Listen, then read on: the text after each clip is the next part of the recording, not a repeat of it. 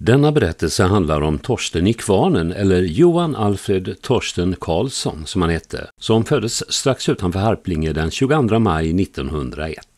Föräldrarna var Karl och Ottilia Persson och Torsten var yngste barnet i en syskonskara som också bestod av Ragnhild, Algot, Oskar, Rut och Signe. När Torsten var liten dog hans pappa och eftersom mamma Ottilia var sjuklig kunde hon inte ta hand om barnen utan de spreds ut på olika håll. Bröderna Oskar och Torsten fick bo hos en morbror i Harplinge. De gick i skolan men fick också hjälpa till med en hel del drängssysslor på gården. Detta till trots slutade Torsten skolan med högsta betyg i de flesta ämnen, men blev visst underkänd i sång.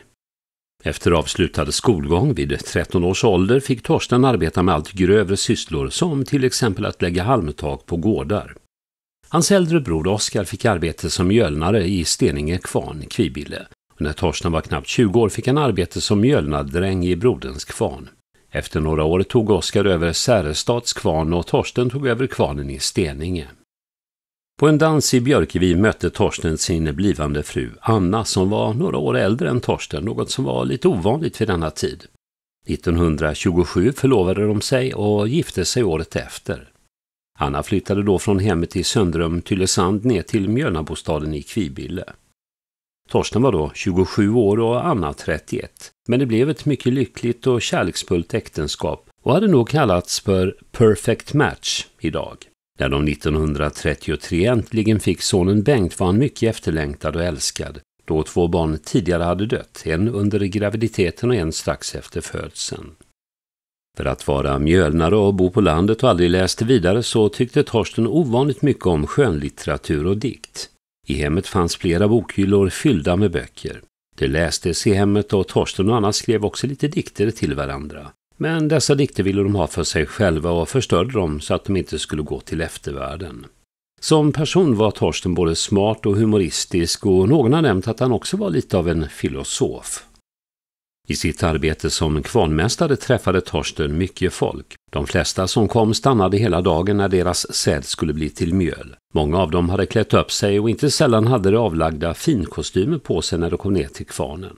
Bönderna hade mat med sig som de satt och åt medan de väntade och mjölnahustrun Anna brukade komma med kaffe och vetebröd. Anna såg också till att mjölnadrängarna fick mat under dagarna och kvällarna.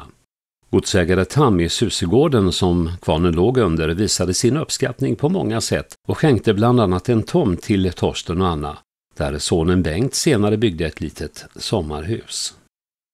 1937 byggdes kvarnen ut och man satte in två turbiner och elkraftverk. Torsten fick även rycka in som elektriker runt om i Kvibille när det behövdes extra hjälp, till exempel efter åskoväder om det hade blivit strömlöst i samhället. Han hade skaffat sig dessa kunskaper eftersom han måste kunna sköta elkraften till kvarnen.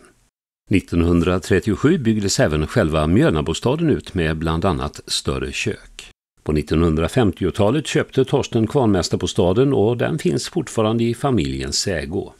Som så många andra kvarnar i Sverige lades Steninge kvarn ner i slutet på 1950-talet. Torsten blev då lantbrevbärare. Det blev hans tur att ta sig runt till alla som tidigare hade tagit sig till honom för att få mjöl. I mitten av 1960-talet fick Torsten Parkinson och sina sista år levde han på sjukhem i Oskarström. Hustrun Anna bodde kvar nere i den kära kvarnbostaden hela livet. Sonen Bengt läste i Lund och flyttade sedan på 1960-talet med sin fru Laila till Växjö där de båda arbetade som lärare. Under all ledig tid var familjen i Kvibille där Bengt också ligger begravd med sina föräldrar.